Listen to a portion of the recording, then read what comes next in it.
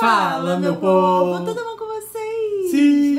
Ao nosso primeiro vídeo de Assassinato no Fim do Mundo. Aê! Amanhã, dia 14 Cara, de novembro, estreia a nova série da Brit Marlin e do Zal, que são os criadores de The Way. Já saiu um trechinho da entrevista que eu fiz com o Zal, inclusive aqui no canal. Eu vou deixar o link aqui na descrição. Que foi super emocionante. E esse vídeo é sem spoiler. A gente já assistiu aos dois primeiros episódios que saem amanhã no Star Plus. e a gente decidiu fazer esse bate-papo aqui, dizendo um pouquinho do que, que a gente achou desse começo da história e o que vocês podem esperar do É. lançamento da série. Então bora lá. Cara, olha só, se a gente pensar em tudo que foi proposto antes da série sair, Uhum. eu achei muito justo o que foi apresentado. E aí a gente bota o, o Zal e a Brit realmente constroem o tempo todo, né? Sim. A livraria que foi colocada lá em Nova York, Sim. os lugares que foram falados, os lugares do mundo, as pessoas, os atores, né? Que são pessoas diferentes, de nacionalidades diferentes, Uhum. tem a ver com tudo que eles Com a história. vão trazer pra gente dentro da história. Eu acho que quando você tem um estilo de contação de história que você sabe muito bem o que você quer atingir com o que você tá entregando e você já entendeu mais ou menos como o público que te acompanha pensa, você sabe fazer produtos meio que personalizados, É, assim. é. E eu enxergo que de toda a trajetória do Zal e da Brit, essa produção ela é um, um grande resultado de anos de interação deles com o público que acompanha o trabalho deles.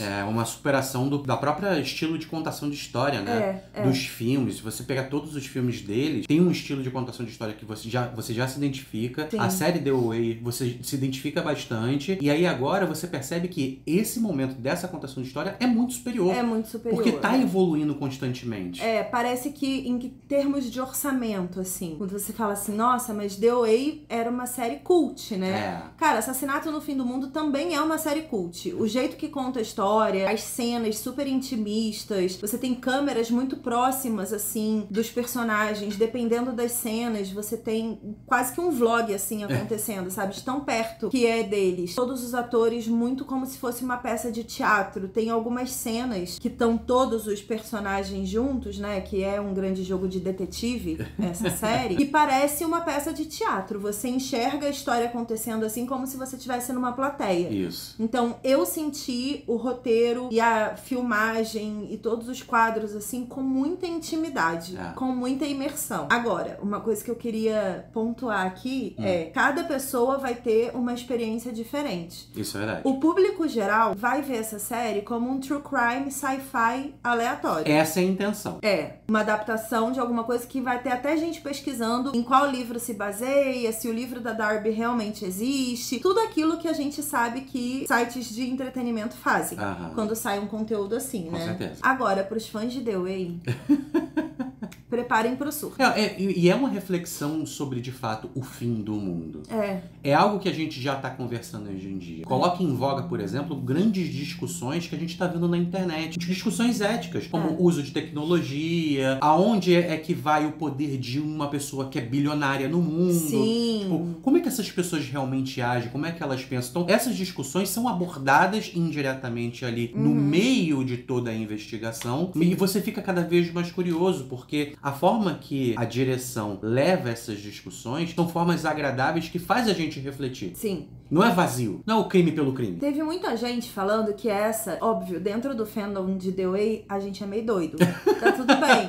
Vamos abraçar a nossa causa aqui. É, é. Mas aí a gente já tava brincando, todo mundo, assim, falando que essa seria a terceira temporada de The Way. Sim. Muito na. Na fé. Não, vindo de um lugar de, de, de saudade mesmo, É, de é, ausência. Óbvio que a gente sabe que é uma história 100% original e que não tem nada a ver com The Way. Mas. Eu não consigo. Você tem ali alguns elementos nessa história que dá pra ver que vem muito de pra onde The Way tava indo. Na segunda temporada de The Way, a gente tá em São Francisco, Sim. muito perto do Vale do Silício. A gente conhece um grupo de jovens da geração Z, É. que é o que a Darby Hart é como ela é descrita, uma hacker muito boa da geração Z. É assim que eles descrevem. Sim. E E lá na segunda temporada de The Way, a gente tem a Zendaya fazendo um pouquinho esse papel. E tem vários jovens ali hackeando, decifrando códigos e trabalhando em prol de descobrir coisas relacionadas a grandes empresários do Vale do Silício e tudo A mais. impressão que eu tive é que eles dois estudaram muito sobre hackeamento. Muito. E eles se embasaram muito para talvez trabalhar isso melhor num futuro da série The Way. Isso. E esse conhecimento ficou encralacado neles. É, é. É, e aí, essa série, com uma personagem principal, onde ela é uma super hacker, né? Uhum. Uma das melhores do mundo. Os conhecimentos que são abordados, como isso é feito de uma forma contra o sistema, Sim. né? Uhum. Pra quebrar o sistema. Um hacker é isso. Ele não vê só através do sistema de informação como é que ele pode usar o conhecimento dele. Sim. Mas tudo na vida dele é uma forma de quebrar o sistema. Sim. E aí ele usa isso pra tudo, né? Seja É. pra política, pra economia. Pra comprar um pão na padaria. Exato. Ele quebra tudo, o sistema. Tudo ele tá quebrando o sistema. E aí, essa série é muito baseada nisso. Em discursos que já foram ditos em The Way Ah. sobre grandes investidores, grandes mestres da tecnologia, o que se tem feito no Vale do Silício e tudo mais. Tipo, como existe uma internet por trás da internet que a Isso. gente usa. Que a gente não tem ideia do que acontece, de como acontece. Não tem. Só que muito mais atual. O que amarra pra mim uma coisa na outra é o Zal ter falado que eles começaram a escrever essa série em 2019, que foi quando The Way foi, can- foi cancelada. E eu acho que vem de um lugar também de frustração. Eu acho que é uma série que começou a ser construída a partir da frustração da Brit e do Zal pelo cancelamento de The Way. Sim. Porque o que motivou o cancelamento de The Way foi exatamente a não recepção do público, foi o número, né? Que pra Netflix não valeu de nada aquela história. Aham. Então foi descartável. Não vou falar mais do que isso, que aí a gente segue em Assassinato no Fim do Mundo. Exato, mas o que eu acho interessante é, tem esse problema, e a gente viu muita gente que, por exemplo, segue a gente falando, ah, eu assisti The Way, mas eu não consegui assistir porque eu achei muito difícil É. assistir. É, teve muita gente que falou isso. E eu acho que Assassinato no Fim do Mundo, É fácil. é fácil. É fácil. Porque as pessoas gostam de podcast de true crime, É. as pessoas gostam de investigação e suspense onde você não precisa ficar tomando susto o tempo todo. Hoje você ao tem terror, né? as pessoas que amam sci-fi e estudam sci-fi. É. E as pessoas que são entusiastas do sci-fi É. depois de Dark, por exemplo. Sabe, teve uma galera que depois de Dark virou do tipo, ai, eu adoro série assim. Vem muito nessa rebarba também, Aí, se acho. você pensar, tipo, o, True Crime entra nessa caixinha. A ideia, por exemplo, de casas inteligentes e, e imóveis que são conectados à internet, né? eletrodomésticos, lâmpadas, tudo, que é Sim. tudo conectado à internet, também tá na Entra vida nisso. comum das pessoas, né? A gente vê, por exemplo, vários TikToks e vários stories de pessoas que estão automatizando as suas casas e deixando tudo mais moderno. Aham. Então, esse, diálogo ficou mais comum Uhum. para as pessoas. Sim. Não é nada muito absurdo, Sim. não é? O primeiro episódio você vê como um prólogo da história. Isso. E o segundo episódio é como se fosse de fato já o primeiro capítulo dessa história. É. Então é uma ótima introdução. Eu acho que foi muito assertivo lançar dois episódios de uma vez só. Foi. É um filme de quase duas horas, esses dois primeiros episódios. São cumpridos, né? Eles se complementam, eles são artísticos, tem muita referência que só o fã de The Way vai captar. e eu acho que isso é muito legal porque mostra o quanto tanto a Brit quanto o Zal ainda estão apegados a essa história e respeitam o fandom de The Way. eh, Afinal de contas, eles fazem parte do fandom de The Way também. Pra galera que nunca viu The Way, é uma série X É. de true crime e sci-fi, sabe? Porque a história se sustenta muito bem dentro do que ela tá, tá se propondo de prólogo ali, sabe? Do que ela apresenta como argumento principal. É uma hacker da geração Z que é curiosa, que utiliza a internet pra descobrir coisas desde sempre e faz um livro sobre uma investigação particular e que a partir daí é convidada pra estar nesse retiro com mentes brilhantes da tecnologia. A partir daí, tudo que a Darby é e tudo que construiu essa pessoa na história dá sentido quando ela chega nesse retiro. Exato. Você começa a ver o desabrochar dessa personagem junto com a história que tá caminhando. Então é muito gostoso de acompanhar, é instigante, é imersivo. É. Chega uma hora que você fica assim, gente, eu estou aqui com eles. É. E fora que a gente tá falando de uma série dos nossos queridos criadores de The Way, Sim. não é raso. bom. Não é raso. Você vai tecendo camadas e teorias o tempo inteiro. É muito instigante o tempo todo. Cada símbolozinho que aparece, tu fala: peraí, eu já vi The Way. Eu sei que talvez isso aqui possa refletir, pode ser uma pista, pode ser outra coisa.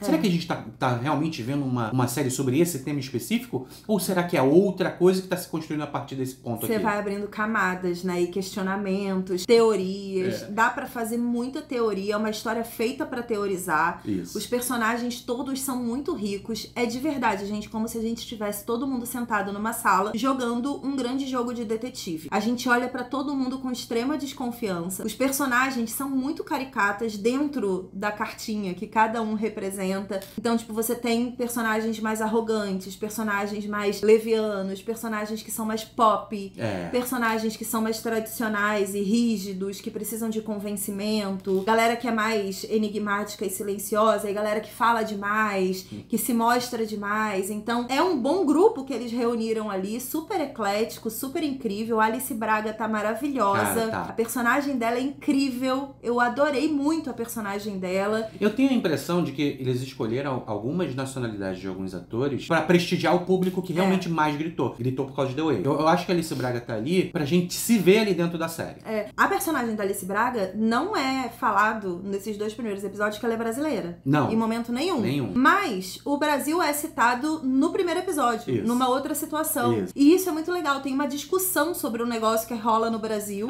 na prime no primeiro episódio. A Alice Braga não fala, né? A personagem dela não fala nesses dois primeiros episódios que é brasileira, mas tem na descrição da personagem que foi publicado antes. Então a Aham. gente, obviamente, já associa que ela é uma astronauta brasileira. E é muito interessante você ver que o Brasil, em termos de tecnologia e de impacto social por causa da tecnologia, tá muito no centro da discussão do É. mundo. Claro que a gente sabe que tanto a Brit quanto o Zal acompanham o fandom deles e sabe que aqui no Brasil existe uma força muito grande, principalmente por causa de DOA, né? Uhum. A galera é realmente barulhenta e fica infernizando eles em todas as redes sociais. A gente sabe disso. Então eu acho que vem também de um lugar de pesquisa de onde o fandom deles está pra poder impactar. Sim. Talvez a, a mesa de participantes ali dessa série seja muito baseada nisso também, em coisas que fazem sentido pra história da tecnologia e o que faz sentido pro fandom que acompanha eles. Exato. Mas a série é muito incrível. Eu vi que sai 5 da manhã no Star Plus. Inclusive já fica a dica da gente aqui. Caso você não tenha Star Plus e vá assinar pra assistir essa série semanalmente, assina pelo nosso link Boa. afiliado. O link vai estar aqui na descrição. É uma forma de vocês apoiarem o nosso trabalho também. Bom, eu acho que a gente agora não tem muito mais o que falar, porque senão a gente entra num campo com spoiler. Aham. Mas eu quero muito enal- enaltecer E agradecer. e agradecer. Quer dizer, eu quero agradecer ao Star Plus por ter mandado pra gente os dois primeiros episódios e por ter disponibilizado a, a entrevista com o Zal. Sim. Tudo isso tá tornando a experiência com a série muito mais mágica. Pra gente já seria mágico sem nada na mão, gente. Uhum. Com essas coisas fica mais mágico ainda. Queria muito enaltecer vocês também que estão chorando com a gente. Eu recebi várias mensagens lindas depois que eu postei aqui um trechinho da entrevista. Ainda tem mais coisa pra postar. Postarei durante a semana aí, porque tem muito conteúdo Cara, hoje e amanhã. E que né? bom que a gente esperou, né? Porque assim, tem coisas que são faladas ali que servem pra dar um embasamento sobre os dois primeiros Pra episódios teoria. absurdo. Pra teoria, É. assim. O Zal é muito. Por isso que eu falei, ele é muito gentil. Ele é. Ele não segura informação. Ele fala o que você precisa Não dá falar. spoiler, mas É. ele não segura informação. Não vai estragar a experiência. Então, ele é muito legal, É. assim. E eu imagino que a Brit Marley seja legal também, porque eu não sei.